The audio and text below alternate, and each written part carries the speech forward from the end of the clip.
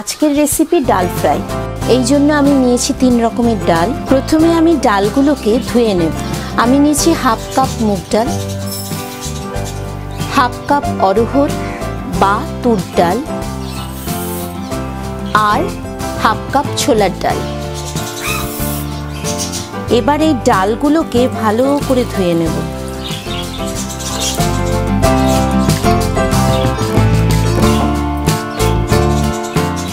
আমার ডাল ধোয়া হয়ে গিয়েছে, এবার আমি এটা প্রেশার কুকারে সেদ্ধ করব।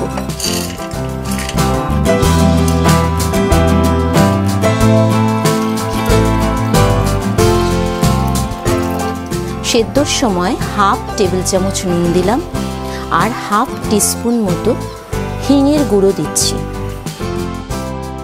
এবার আমি এটাকে সেদ্ধ করব। ডাল সুন্দর সেদ্ধ হয়ে গেছে। এবার আমি রান্না শুরু করব।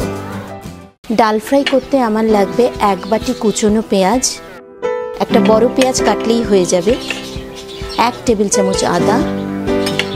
কুচনো লঙ্কা এক টেবিল চামচ। রসুন কুচি এক টেবিল চামচ। ধনে পাতা কুচনো দু টেবিল চামচ।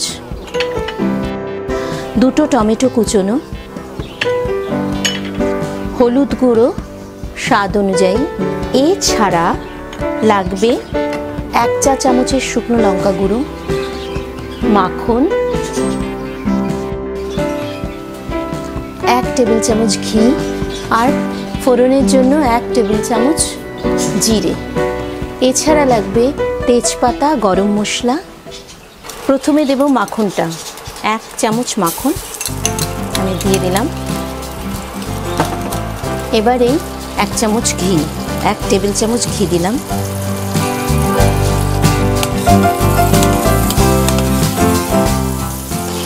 দুটো তেজপাতা ফোড়নে দিলাম, সঙ্গে এক চামচ জিরে।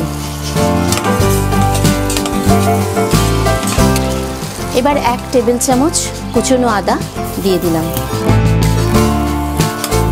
এক টেবিল চামচ কুচনো কাঁচা লঙ্কা দিলাম। এক টেবিল চামচ রসুন কুচি দিলাম।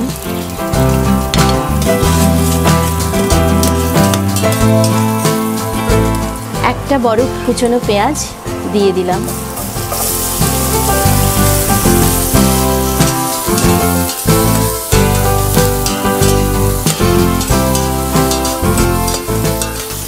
দুটো টমেটো কুচি দিলাম।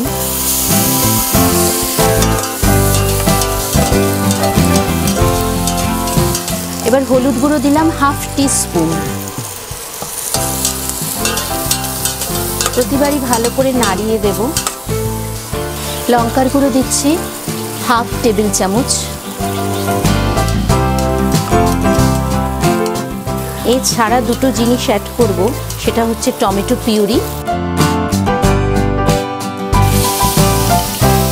তিন চামচ মতো টমেটো পিউরি দিলাম।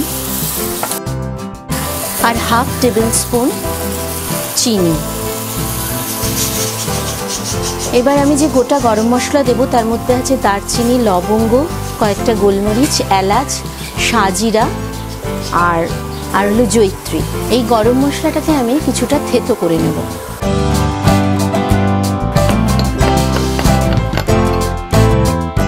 গরম মশলা গুঁড়ো হয়ে গেছে। এবার আমি দিয়ে দিলাম।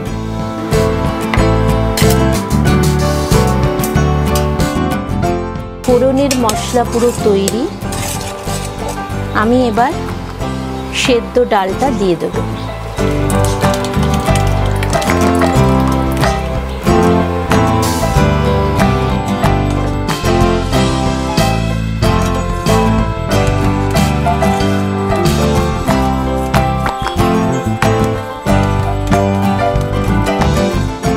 ভালো করে মশলা মিশিয়ে দিলাম।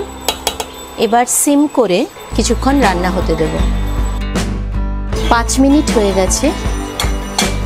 ডালও রান্না হয়ে গেছে। ডাল একদম পারফেক্টলি কুকড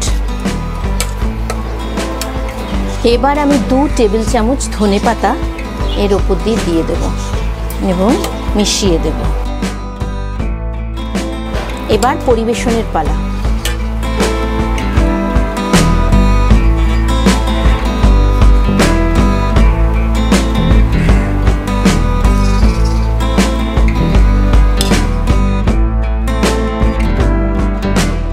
পরিবেশনের আগে একটু চাইলে ওপর দিয়ে ঘি ছড়িয়ে দিতে পারেন।